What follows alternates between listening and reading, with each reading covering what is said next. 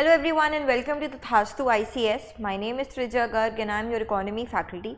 Today we will be discussing and understanding priority number 8 of Union Budget 2024 to 25. Now the priority number 8 focuses on innovation, focuses on research and development. Number 1 is operationalization of the Anusandhan National Research Fund so there was a scheme that was enacted in 2023, okay, Anusandhan scheme, which was uh, uh, basically it focused on research and development of the natural sciences. Okay, so under that only we will be creating a fund. It is actually basically uh, you know established to promote basic research and the prototype development in India. What do you mean by prototype development? Basically, we are creating a testing product and then we will market it if the test is cleared. So, we will create prototypes of the products, okay, and then we will develop them and if it works for the market, if it works for the, you know, country, then we will talk about that. Then the fund aims to bridge the gap between research outcomes and market ready products by providing financial support. Now, what happens is there are certain innovations which are uh, you know really good for the economy really good for the country and really good for the global level as well. So now the problem comes to market their products. And the problem is of the fund. Okay and that is the government is providing. So what government is doing is whatever research outcomes are there and uh, to market them to make them into market ready products help them make into market ready products the government is providing them with financial support. Government also is planning to create a mechanism that encourages private sector driven research and innovation. So what is happening here? Now the private sector collaboration is being encouraged with the government sector investment which will actually increase and drive our economic growth more by increasing the innovation in the country. Okay, with a significant financing pool of rupees 1 lakh crore rupees. What will be the benefits for the economy? Number one, enhanced research capabilities development of new production technologies with the help of the financial assistance that the government is actually providing and the solutions will cater to both domestic and global markets. Okay commercialization of research because by facilitating the transition from research to market the researched innovation or products to the market the fund will keep the fund will help in the commercialization that is uh, be sold for profit okay of innovative products that way driving, uh, driving our economic growth more. Because if we have more innovative products the demand also increases more of investment will be increased more of production will be increased more of economic activities will increase which will also increase the economic growth in the country. Private sector engagement because we are fostering the collaboration between academia okay that is the research okay industry okay development and the government leading to more practical and market oriented innovations. Now the problem is uh, actually the benefit is if the private sector gets involved and collaborates with the government then basically the best thing is that more quality more innovation and more uh, market oriented products are actually produced.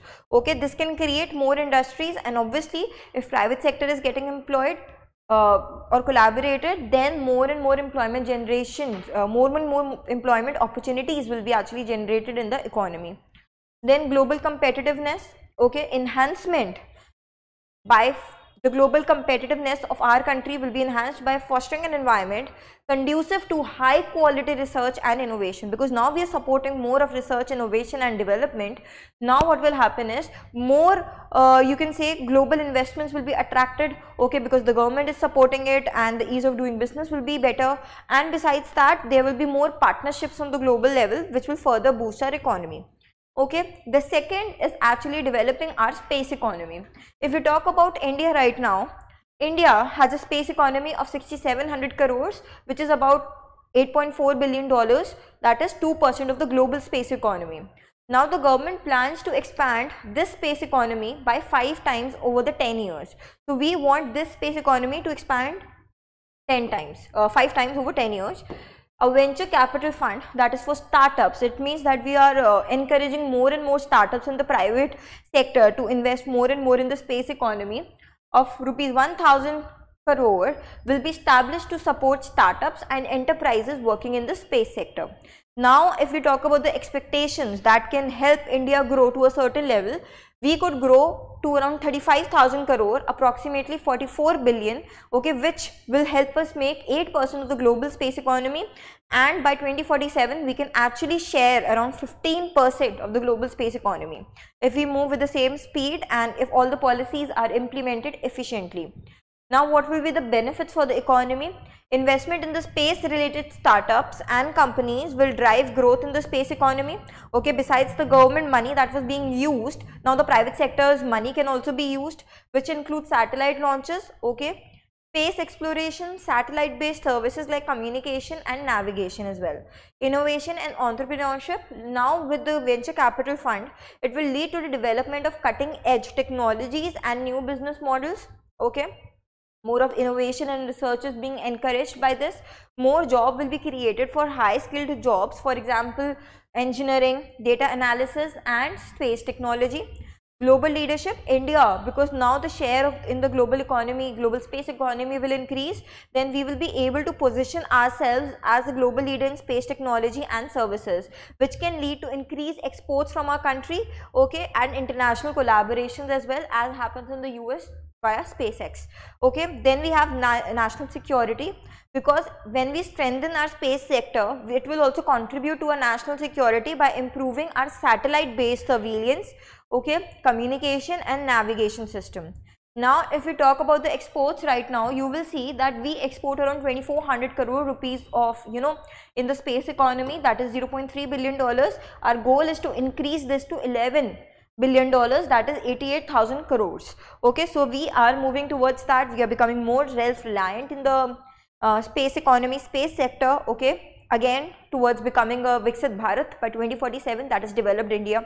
Creating more job opportunities, creating entrepreneurship that is more small small enterprises and micro enterprises will be encouraged via this.